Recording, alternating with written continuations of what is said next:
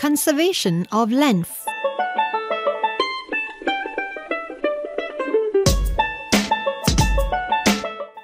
Let's measure the length of this wooden plank using a measuring tape.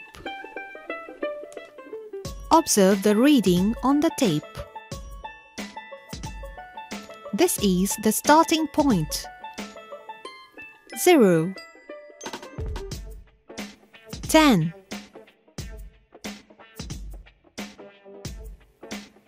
20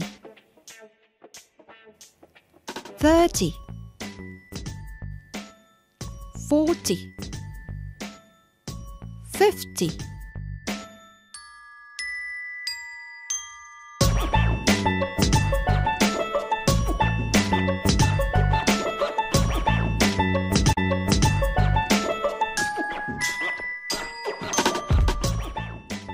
140 150 This is the ending point. Therefore, the length of this wooden plank is 150 centimeters.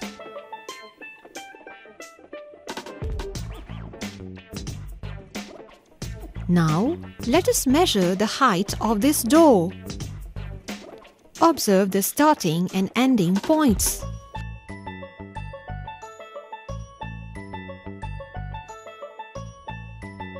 Therefore, the height of this door is 220 centimeters. If we divide a meter into 100 equal parts, we call each of these a centimeter. We represent it with the letter cm. 1 meter has 100 centimeters. Length is the distance between two points. For example, the distance between your house and school. Or the length around a football ground. The meter measures distance as well as the length and width. This airplane, for example, is 70 meters long.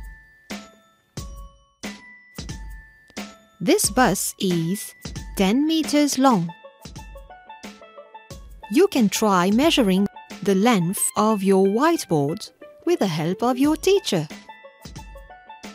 Have fun! Goodbye, friends!